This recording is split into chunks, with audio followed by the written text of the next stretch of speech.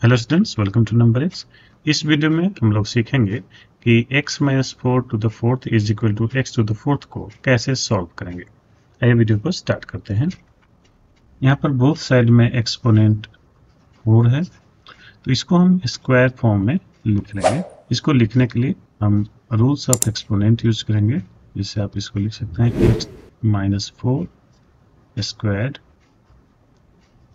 whole square is equal to x squared square यदि आप x minus four square का square करेंगे, x minus four to the fourth power आएगा और x square का square करेंगे तो x टू द फोर्थ आएगा।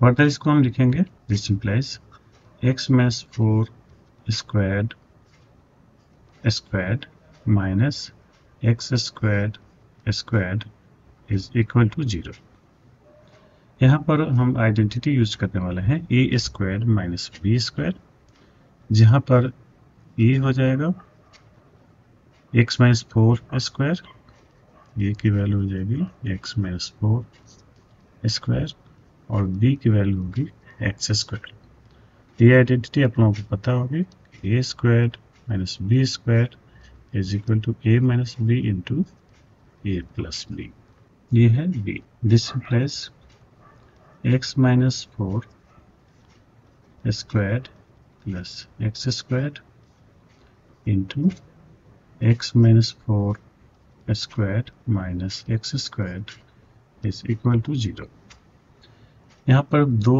टर्म्स का प्रोडक्ट ज़ीरो है। इसका मतलब ये है कि either this term is zero और दिस टर्म इज़ ज़ीरो तो पहले वाले टर्म को ज़ीरो करके देखते हैं। फ़र्स्ट टर्म यानी x minus four square plus x square is equal to zero तो इसको हम एक्सपेंड करेंगे, x minus four whole square है? तो इसको लिखेंगे x square plus sixteen minus eight x और x square is equal to zero this implies two x square minus eight x plus sixteen is equal to zero two common factor है, इसको cancel कर लेंगे। यह आएगा x square minus four x plus eight is equal to zero यहाँ से x की value आप क्वाड्रेटिक फार्मूला लगा के फाइंड आउट कर सकते हैं। ये फार्मूला क्या होता है? x equal to minus B plus minus square root of B square minus four A C divided by two A which equals यहाँ b की value minus four minus of minus four plus minus square root of B square यानी minus four square minus four times A A की value one है, और C की value है eight divided by two A two into one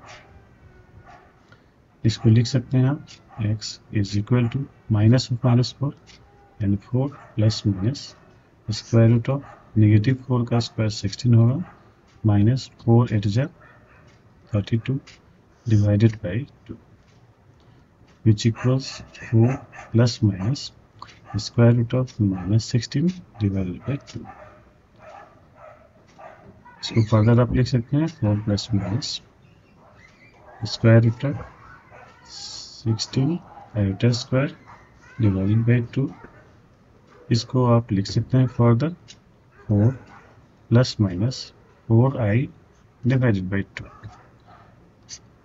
यानी x की value आएगी two plus minus two i इसके बाद हमें इस टर्म को ज़ीरो करना है। तो इसको हम लिख सकते हैं। This implies x minus four whole square minus x square is equal to zero अब इसको फिर से हम a square minus b square का आइडेंटिटी पे फैक्टर कर लेते हैं।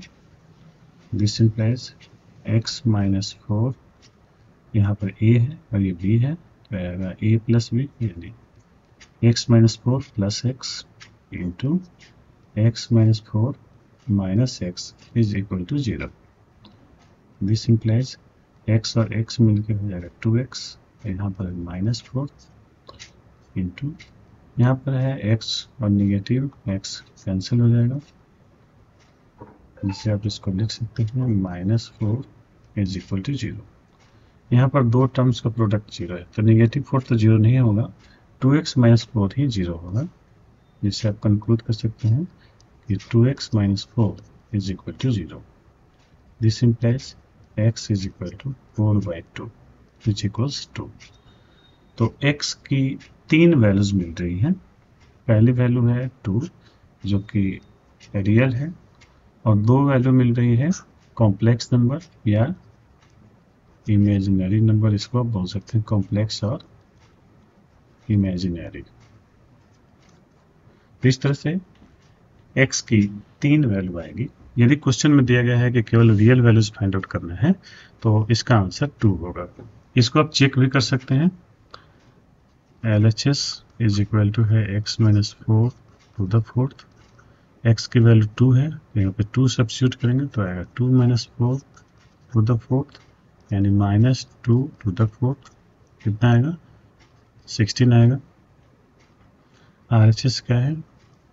R H S is equal to x to the fourth इसको लिखेंगे टू टू द फोर्थ ये आएगा सिक्सटीन इंडीड आप देख रहे हैं कि L H S is equal to R H S तो हमने इसको वेरीफाई भी कर लिया है।